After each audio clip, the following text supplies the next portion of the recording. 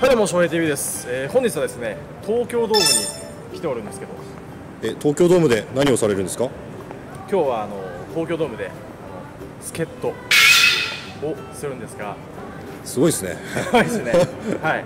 で助っ人なんですけども時間が、まあ、今日夜深夜から朝まで僕なんですけどなんと5時間助っ人やるということですごいワクワクしてるんですけどもマイナビオールスターで昨日使われてました、はい、その翌日に僕ら草野球深夜やるということで オールスターぬくもりがあるんじゃないか ええ。と感じながらも5時間やろうと思います。実際今日はなんか結構いろんなイベントがあるみたいで、えー元プロの選手が何名か来られてあと人気 YouTuber の方も来る。僕のことかな人気 YouTuber 翔平 TV かもしれない。あ違うか。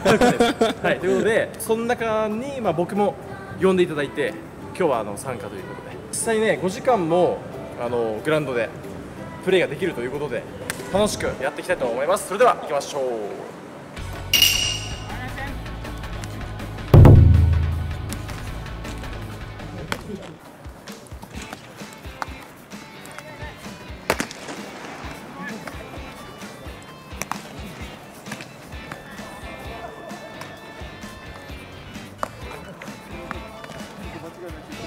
あ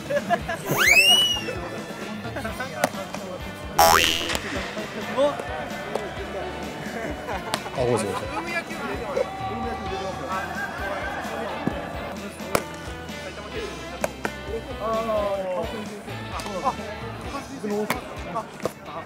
あのスピードガンコンテストの気軽に声かけてくださいそれで今日もミラーの方と動画見まああいいですか？あれ バットのやつ。はい。あいつもガチもいつも見させてもらってます。ありがとうございます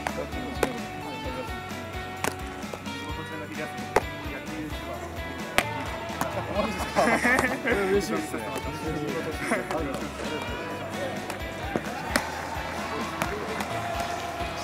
そういうこういう出会いもありつ。そう。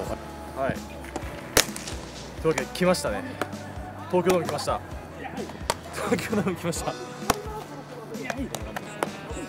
色がえぐい俺に人がい。たら結構やばいよついいっすねこれは。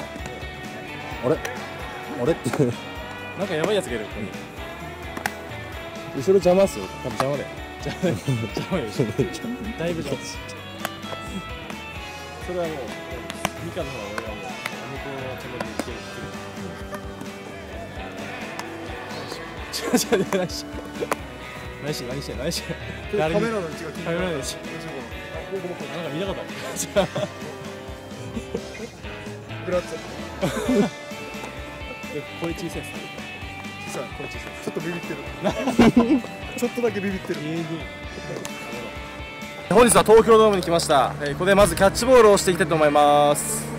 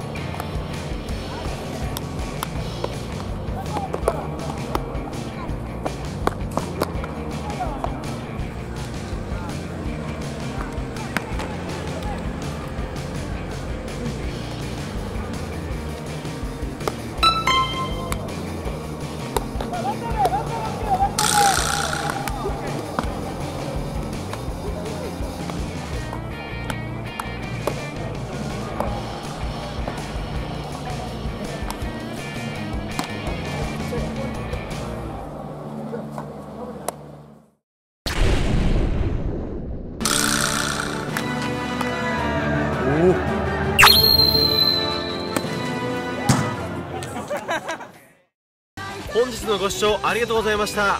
もしこの動画がいいと思ったらチャンネル登録コメントグッドボタンよろしくお願いします。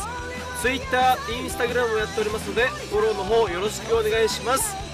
今後動画でやってほしいことがあればコメントにどんどん書いていってください。お願いします。また見てね